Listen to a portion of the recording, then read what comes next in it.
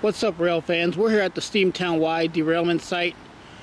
We're going to do a quick walk around, see just how bad the damage was that was done yesterday around 3 3:30 p.m.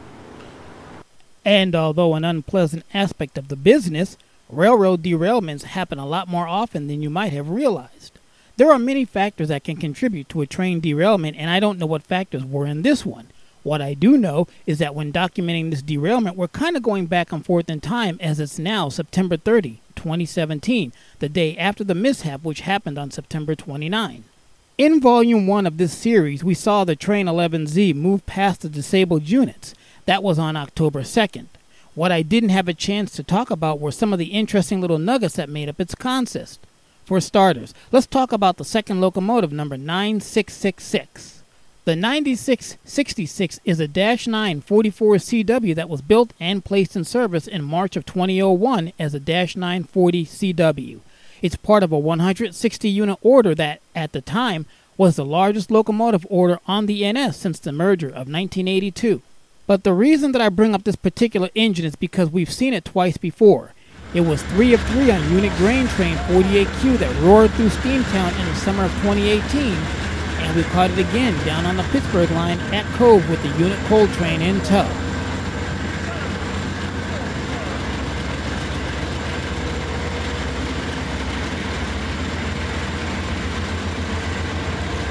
The catch of the day for me were the two J.M. Huber kaolin covered hoppers. Kaolin cars like these, as well as tank cars, made up the bulk of entire CP trains back in the 1990s before the internet cut so heavily into the printed media business. Kaolin is a type of clay that's used in the papermaking business, and catching these JMHX cars are extremely hard today, at least in this area.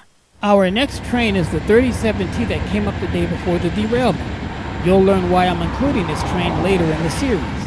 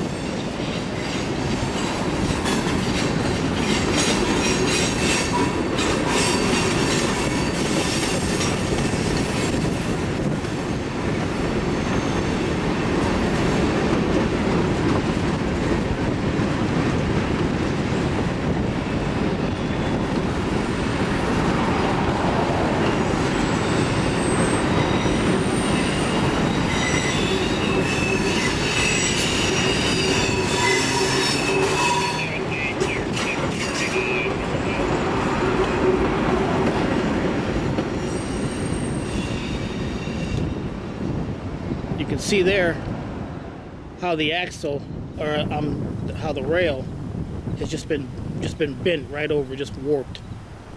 It's even worse as you get further down. Here's another Train 37T along with the CSX Tier 4 Gevo and an SD70 ACE trailer.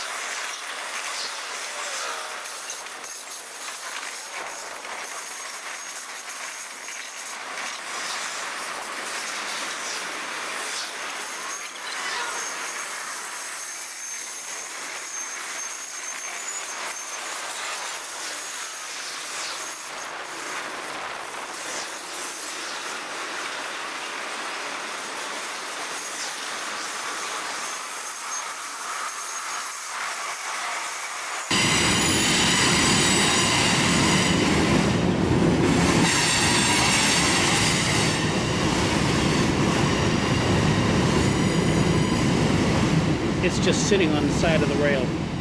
The rail is just just um, twisted right over.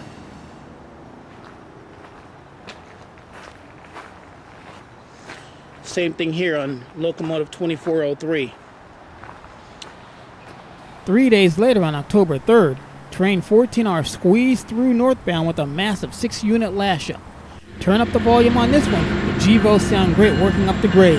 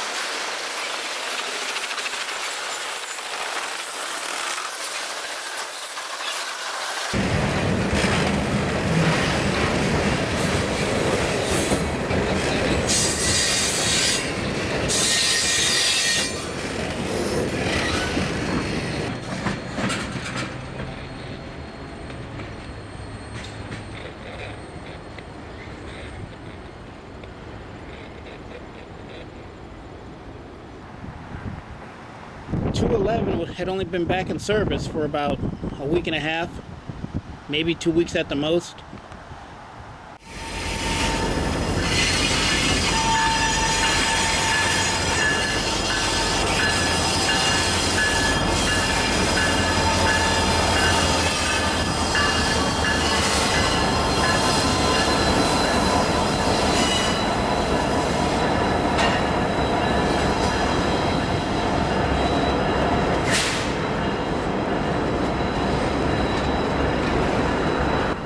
Train 36T came down the line and check out the old school Gunderson well cars from the 80s and 90s. A couple of months ago, a viewer asked me in a comment about the CSX Sealand double stack trains that used to run over the Susquehanna Railroad.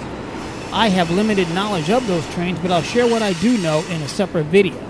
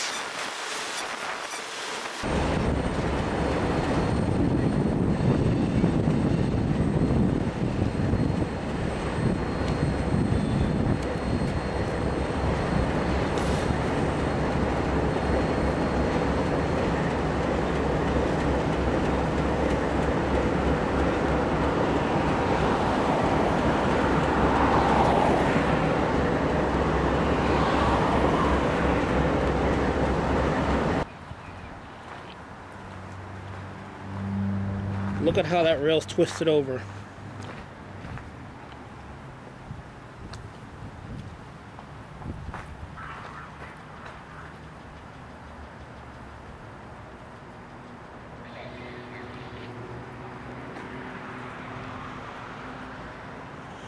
In all, there were five locomotives that were in this consist. The lead unit, which was 2457, has already since been detached. This happened yesterday and is, well, wherever he's at. We now have four locomotives still here, a total of six trucks laying on the ground.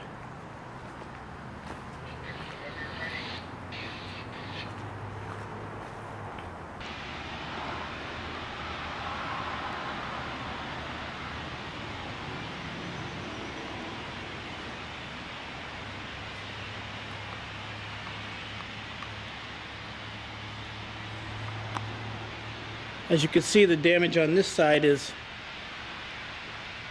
a lot worse than on the other side.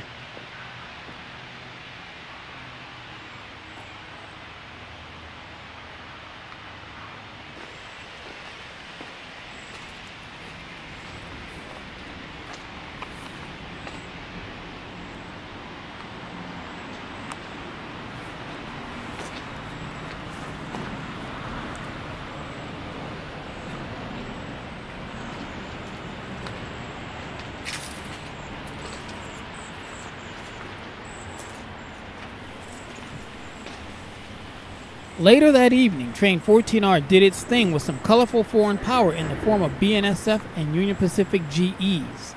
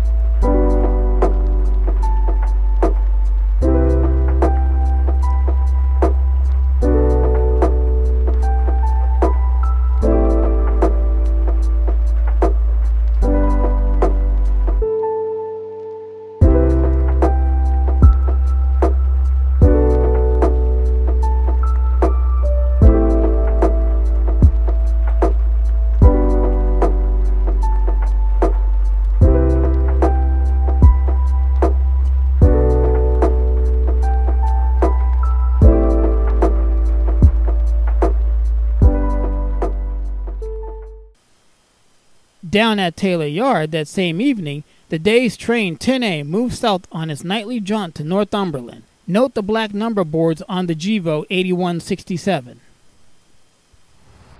But that's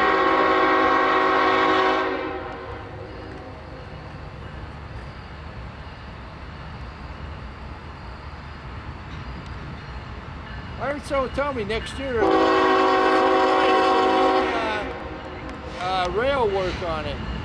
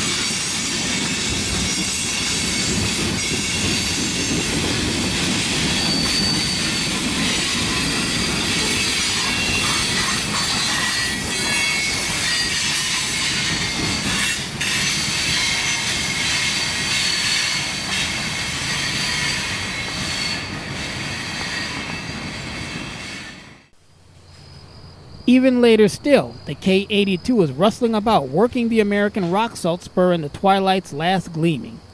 The number boards on the nose of the leading GE is an easy identifier of its former Conrail heritage. Those EMP containers on the siding will be picked up by the northbound train 11A shortly after.